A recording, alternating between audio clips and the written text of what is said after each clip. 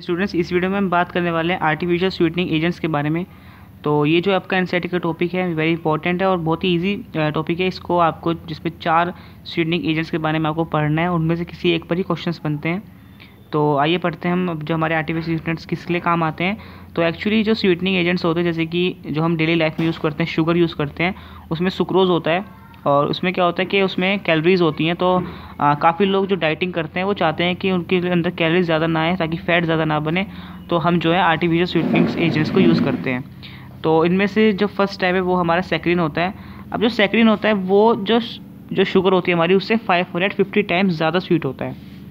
और क्या होता है कि ये जो जनरली इसको हम डायबिटिक पेशेंट्स को देते हैं, क्योंकि ये जो होता है हार्मलेस होता है, ये जो हमारे, अगर हम इसे बॉडी में अगर हम इसे यूज़ करते हैं तो ये कोई रिएक्शन नहीं करता और जो हमारा यूरिन होता है, उसके साथ ही सीक्रेट हो जाता है। तो इसलिए जो है हमें कोई दिक्कत नहीं होती है।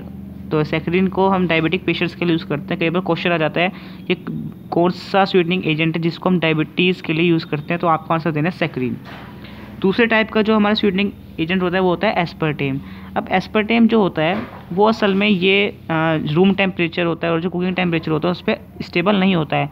इसको इसलिए हम कोक कोल्ड ड्रिंक्स होती हैं या जो हमारे फूड्स होते हैं जिनको हमें ठंडा, जो हमारे ठंडे फूड्स होते हैं, उनमें हम इसको यूज़ करते हैं एस्पर्टेम को और ये शुगर से हंड्रेड टाइम्स ज़्यादा स्वीट होता है। जो तीसरा टाइप है वो है हमारा एलिटेम एलिटेम जो होता है ये, इसको हम कंट्रोल नहीं कर पाते हैं क्योंकि ये टू थाउज़ेंड टाइम्स ज़्यादा स्वीट होता है। अगर आप इसकी अगर थोड़ी सी एक ड्रॉप भी आपके अगर टंग पर, अगर आप इसको टेस्ट कर लेंगे तो एक हफ़्ते तक इसका स्वीट जो स्वीट टेस्ट होता है वो जाता नहीं है।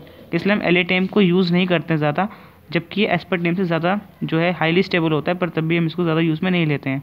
अब जो मेन जो है वो है सुक्रोलोस सुक्रोलोस क्या होता है? सुक्रलोस जो सुक्रोज होता है उसका ट्राईक्लोरो डेरिवेटिव है।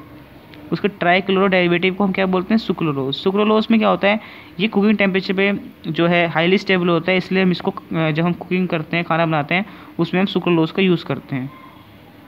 इसके बाद बारी आती है फ़ूड प्रिजर्वेटिव्स की। तो फ़ूड प्रिजर्वेटिव्स वो होते हैं जैसे ताकि खाना ख़राब ना हो, हमारा फ़ूड ख़राब ना हो इसलिए हम उसे प्रिवेंट करते हैं लॉन्गर पीरियड के लिए। तो जो इसमें माइक्रोब्स पैदा हो जाते हैं या जो बैक्टीरिया हो जाता है, उसको ख़त्म करने के लिए हम फ़ूड प्रिजर्वेटिव्स का यूज़ करते हैं। तो प्रीवियस ईयर क्वेश्चन आया था कि कौन से फ़ूड प्रजर्वेटिव को हम यूज़ करते हैं तो उसमें आंसर था सोडियम बेंजोइड तो आप जो है, इसके तीन एग्ज़ाम्पल हैं, उन्हें याद कर लें। सो एक होता है सोडियम बेंजोइड और एक होता है salt of sorboic sorbic acid और एक होता है सोल्ट ऑफ़ पोर्पोनिक एसिड इन तीनों को याद कर लें क्योंकि इनमें से एक से ही आपका एग्ज़ाम्पल में से क्वेश्चन बन जाता है। और जो सोडियम बेंजोइड होता है, इसको हम ज़्यादा यूज़ नहीं करते हैं, क्योंकि और ये जो हमारे बॉडी में है, वो मेटाबोलाइज हो जाता है, इसलिए हम इसको ज़्यादा यूज़ नहीं करते, ताकि हमें कोई नुकसान ना हो। इसका थोड़ा सा यूज़ करते हैं ताकि जो है फ़ूड प्रिजर्व भी हो जाए और हमें कोई हार्मफुल इफ़ेक्ट ना हो। तो ये थे हमारे केमिकल्स इन फूड्स जो कि फ़ूड प्रिजर्वेटिव और आर्टिफिशियल स्वीटनिंग एजेंट्स के बारे में हमने पढ़ा है। चारों को आप अच्छे से याद रखें और इनके जो भी हैं एक एक एग्ज़ाम्पल और इसका क्या यूज़ होता है, इसको याद